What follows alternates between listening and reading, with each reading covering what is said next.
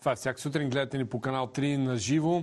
Продължаваме разговорите в студиото с нашият събеседник Димитър Маргаритов, председател на Комисията за защита на потребителите. Добро утро, господин Маргаритов. Добро утро на вас и на зрителите на канал 3. Темата обикновено, когато идват коледните и новогодишните празници и започва голямото пазаруване, много често така запленени от емоцията, не обръщаме внимание как са ни а, заложили търговците дребни капанчета, които ние под а, а, ефекта на емоция пазаруваме без да мислиме. Особено така сме мъжете. Аз си признавам, аз пазарувам под емоция. Не знам жените как се, може би...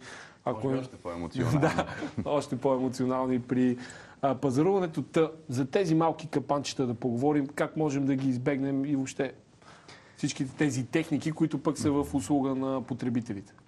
Действително, в навечерието на толкова много празници, търговците се изкушават да практикуват а, такива хитринки и всъщност потребителите често могат да станат жертва на несъществуващи намаления, на някакви промоции, които всъщност в последствие се оказва, че изобщо не са такива, както са анонсирани. А, така че в общи линии нашата дейност, контролна, е съсредоточена и ще бъде още по- съсредоточена в следващите дни, в това ние да следим на пазара да не се допускат такива неща. Срещали сме и в предишни наши кампании такива случаи, несъществуващи намаления в смисъл. Търговец анонсира един висок процент намаление, но всъщност цената, от която той прави този процент, не е действителната цена, на която стоката е трябвало да бъде продавана поне един месец преди да бъде извършено това намаление. Също така много често, особено сега, когато предстои да бъдат купувани подаръци, търговците предлагат различни комплекти, за които анонсират промоции, а в нашия анализ се оказва, че всъщност тези продукти, ако бъдат закупени по-отделно, могат да бъдат дори по-изгодни, отколкото в тази комбинация, която ви се представя всъщност за едно много атрактивно предложение. Предполагам, че... това обаче не го правят големите вериги, а го правят така едноличните търговци, търговците от така, от средно ниво? Всъщност, ние сме попадали на а, нелоялни търговски практики, както в по-малки търговски обекти, така и в големите вериги. А, обикновено големите вериги, които имат повече ресурс да м, правят рекламни кампании за различен тип а, промоции, намаления, имат така практиката да анонсират чрез брошури, които се разпространяват в много големи количества, Знаете, и по почтата всеки от нас е получавал такива брошури. А, и тогава ви се предлагат стоки много атрактивни, на много ниски цени. Когато обаче вие отидете в големия търговски обект, всъщност установявате, че няма наличност на тези стоки, но бидейки вече в обекта, вие неминуемо започвате да пазарувате и то вече е стоки, които се предлагат на нормални цени и без чак толкова голям процент намаление. Малкото, защото има някои хора, които се чувстват неудобно, че трябва да излязат през касата без да са купили нищо, разбирате? Да, така е, да, така е. Всъщност това неудобство, може би малко трябва да разшириме тук с няколко думи, макар анализа на това неудобство. Поначало българският потребител като че ли изпитва неудобство да защити правата си дори тогава, когато е абсолютно сигурен, че е жертва на някакво нарушение. И част от нашата дейност е съсредоточена именно върху това ние да гарантираме правото на информация на потребителите, да знаят те какво трябва да направят, когато установят или дори имат съмнение, че са жертва на някакво нарушение. Е, това да може... е големия въпрос. Доколко да. ние отстояваме правата си, та да може да отстояваме правата си. Точно така, защото всеки от нас, да си признае, включително и аз, сме имали случаи, когато вие виждате, че има някакъв проблем, обаче просто го отминаваме. А не бива да бъде така. Трябва да обръщаме внимание на това, защото всъщност по този начин, както ние като контролен орган, който е дал възможност на хората да си знаят правата, така и самите потребители влияят върху търговците и те в крайна сметка разбират или би трябвало да разберат, че лоялността и коректността на пазара е и в тяхна полза, защото им гарантира по-редовни клиенти. Искам да попитам директно за един случай. По-не си купуваме една риза, гледам на касовата бележка, пише, може да върнете продукта, ако не сте доволен, в 7-дневен срок. Добре, да, аз съм я облякал тази риза, как, как я връщам после в магазина? Какво се случва с нея, ако примерно съм недоволен от тази риза? Значи тук поначало очевидно става въпрос за някаква по-скоро да я наречем добра практика на търговец в търговски обект, защото това право на отказ от стоката, без тя да има някакъв дефект, в законодателството е уредено по отношение на онлайн търговията. И това е нормално, защото когато пазарувате в интернет, вие на екрана виждате нещо, но когато то дойде физически при вас, може да се окаже, че има действително някакви разлики и вие не сте доволен от това, което сте си избрал. А това, което се случва в търговския обект, по-скоро е добра практика на търговците и всъщност това какво се случва с този продукт вече е техен проблем. Да, Важното е обаче, че вие имате възможност да прецените, че това не ви харесва Става и може да го мога да я замена ризата с друга? Има ли такава опция? Ами да, има най-различни варианти на такива добри практики. Иначе поначало, когато вече вие си закупите нещо от търговски обект, това с замяната, както и с намалението на цената, отбива или връщането изобщо на стоката и съответно на парите, в законодателството не е уредено, когато стоката не е дефектна. Тоест трябва да има дефекти, трябва да има рекламации, съответно ако става примерно дума за битов електроуред, ремонти, трябва да бъдат извършени преди всъщност вече да се стигне до хипотезата, при която връщате и си получавате обратно парите. Но вече все повече търговци наистина това е похвално, имат желанието да удовлетворят очакванията на потребителите и всъщност им предлагат такива възможности. Добре, предлагам ви заедно с вас да видим едно видео, което направи нашият репортер, репортерът на сутрешния блок Кристина Абаджиева за това дали има лоялни търговски практики и въобще отстояваме ли правата си като потребители. Вижте нейният репортаж.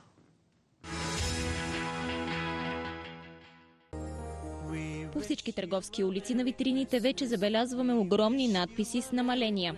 Реални ли са те и спазват ли законите собствениците на магазините, които са обявили по-низки цени?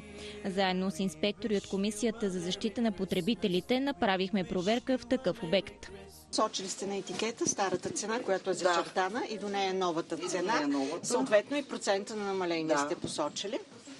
И нали ви казвам, всичките са с етикети на български. Да Намалението е обявено на входната врата. Периода на намаление е обявен. Един месец е периода да. на намаление. Условието на намаление е, че се предлагат частично е намалението частично, и се да. предлага за определени артикули да. стоки. Да. Всичко от всичките ни черни етикети да. отдолу е по същия начин материал, още един етикет да, да, да, с информация за вида на стоката, да. вносител, производител, цена, Всичко. материал, от който е изработен, артикулен номер на, на стоката. Така. Червените етикети са за стоки с намалени цени, а от тези етикети са с Не, редовната цена. Редовната, да. Сега ще съставя един констативен протокол. Ще ви помоля за един фискален бон за една стотинка за да видим кой е търговеца, който осъществява търговската дейност в този обект.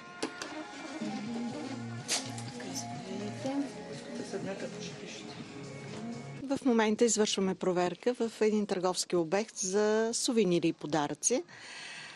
Основното, което ние проверяваме е предоставената преддоговорна информация на потребителите, съгласно изискванията на член 4 от Закона за защита на потребителите информацията, която потребителя трябва да, да, да, да получи от търговеца преди да закупи стоката. А това е информация за съществени характеристики на стоката, указания за употреба, използване, упаковка, указания за поддръжка на стоката, информация за крайната продажна цена на стоката. Предоставя ли се информация с напомнение на потребителя за законовата гаранция и за търговската гаранция на стоките в България? Това се предоставя чрез етикетиране на стоките. Информацията е записана върху етикета и ние установихме в този търговски обект, че предлаганите сувенири, подаръци са етикетирани съгласно изискванията на Закона за защита на потребителите. Когато извършваме проверки по намаление на цените, често пъти е обявения процент на намаление при изчисляване се установява, че не е реален. Процента намаление е друг, затова винаги правиме проверка и на процентното намаление, дали е реално предоставено и написано на етикета. често пътя за потребителя не е уведомен за стоките и услугите, които са с намалени цени или те не са поставени на специално обозначени места в търговския обект. Потребителя няма информация в търговския обект кои са стоките с намалени цени и кои са стоките с реални цени. И въпреки, че тук нарушения не бяха констатирани, потребителите винаги трябва да сигнализират, ако забележат някаква нередност. С наближаването на коледните и новогодишни празници започнаха и така наречените коледни намаления. Почти на всяка витрина може да прочетем надпис «Намаление». Дали обаче тези намаления са реални и вярват ли хората в тях или всичко е рекламен трик? Вярвате ли на коледните намаления и възползвате ли се от тях? Не вярвам изобщо. Защо? Ами защото по този начин те се избиват цените. За това. какво да ви кажа? Това не са реалните цени. Дори намаленията им не са реални. За това. Има магазини, които с коледните намаления пак излизат на печалба, защото цените им са много високи. И така, че много рядко има някое коледно намаление, което наистина е коледно намаление. Уж обявяват намаление, същевременно цените са едни и същи. Или пък много висока е била, уж намалена. Няма това, каквото на Запад може да го намериме, когато посетиме някой магазин, било е то в бутик или в мол. Да, при нас измамата е доминанта. Собствениците на магазини обаче са категорични, че намаления има. Проблемът е в ниските доходи на хората. Имаме магазин съвсем близо, така че сме ги пускали вече коледните намаления. Хората възползват ли се от тях? Не мога да кажа. Мисля, че не. Те не вярват. Този, който има магазин, може би вярва, защото знае на колко купува и на колко го разпродава, само и само да има шанс всеки клиент да ги купи. Но повечето хора не вярват. Повечето хора предпочитат да влязат във втора употреба и да си купят нещо, което може да се позволи. От Комисията за защита на потребителите призоваха хората да внимават какво купуват, особено в предпразничните дни и задължително да изискват касов бон, защото това е документа, с който при нарушение ще могат да докажат кога и откъде е закупен дадения артикул.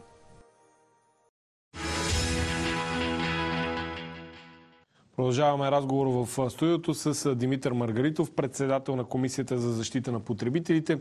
Ще ми се обаче, понеже сме на празнична тема, да си поговорим и за това какво трябва да знаем за празничните резервации, особено когато ги правим онлайн, за нашите почивки, за въобще когато ползваме такъв тип услуга. Когато решите да си запазите някакво пакетно пътуване, е много важно всъщност на първо място да установите дали този, който ви го предлага, реално съществува, особено когато говорим за онлайн резервации. Всеки туроператор и турагент би трябвало да е регистриран в Министерството на туризма и всъщност този регистр може да бъде проследен и онлайн на сайта на Министерството. Така че една бърза справка в това отношение е важно да бъде извършена когато вече установите, че такъв туроператор действително съществува, би трябвало да проверите дали той има валидна застраховка професионална отговорност, тъй като съгласно нашето законодателство към момента това е единствения ресурс, който гарантира някакво обещетение при възникването на проблем. И това, което е особено важно, е когато вече вие изберете този пакет, твърдо сте решили да го ползвате и го платите, да си запазите и да изискате да ви бъде издаден такъв документ за плащане и изключване на писмен договор. Защото когато разполагате с документи и когато туроператора реално съществува, дори и да има някакъв проблем, действително той може да бъде разрешен, макар и нали, във времето, макар и с необходимостта от съдействие на нас в случая. Ние имаме такава практика, дори и в изминалите месеци, за съжаление, имаше няколко случая, включително един от тях с деца, които в чужбина пътуваха, но намесата ни позволи да бъдат разрешени тези случаи то благодарение на това, че всъщност и документите, и начина по който се извършва запазването на тези пакети върви по този път всъщност. Коледно пазаруване на кредит. Доколко това е възможно? Може ли да се случи? Да пазаруваме за коледа на кредит? Възможно е, тъй като този бизнес на небанковите финансови институции, които предлагат така наречените бързи кредити, просперира в България. и всъщност за това ние наблюдаваме много внимателно какво се случва. Проследили сме в последните месеци договорите с общи условия, които предлагат тези институции на потребителите и всъщност от над 4000 клаузи, които нашите експерти са прочели, сме констатирали, че в 10% от случаите има неравноправност. Тоест, потребителят е поставен в неравностойно положение и всъщност може да бъде ударен по джоба. Това става така, защото примерно има субективна оценка на това кога сте изправен и кога не е изправен длъжник. Може да ви бъде предявена предсрочна изискуемост. Имаше и такива търговци, които въпреки, че кредита може да стане предсрочно изискуем, изискват цялата лихва за целия период и така нататък.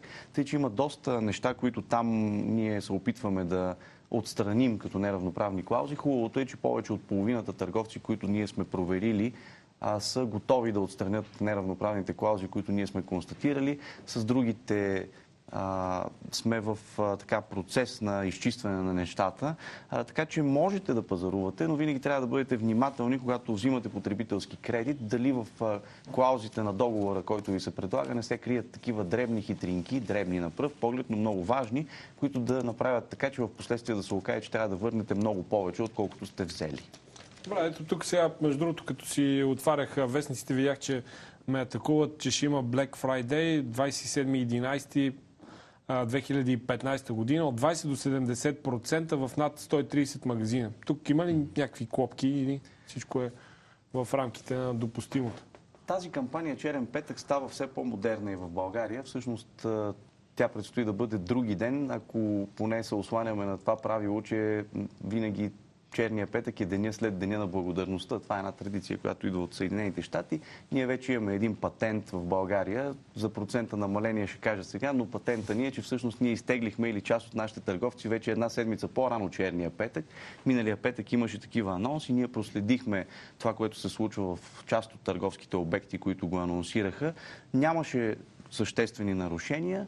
По-скоро, може би, понеже става за въпрос за една кампания, която протича много бързо във времето, имаше известни пропуски в оповестяването на старите цени на стоките, което така затрудняваше потребителите при изчислението на процента на намаленията, но ние сме отправили нашите препоръки към търговците и се надявам, че в други ден всичко ще бъде наред и действително, както и зрителите във вашия репортаж казаха, както на Запад, това е нали, обичайна фраза за, за България, но както наистина в нормалните и цивилизовани пазари, търговците ще бъдат лоялни към своите клиенти и ще им предлагат реални неща. Защото пак искам да кажа, това е и от тяхна полза. Не е въпрос ние да се гоним и да се хващаме в някакви нарушения, а да гарантираме на хората един спокоен пазар. Можем ли да си купим стока, която е под себестойността Има ли такива варианти при черния петък? Предполагам, че е възможно, тъй като търговците формират пазарната си политика на принципа, че в крайна сметка е важно да имат и оборот, така Абсолютно. че ако има някакви стоки, които при тях дълго време са се задържали и не могат да бъдат продадени на стоеността, на която те действително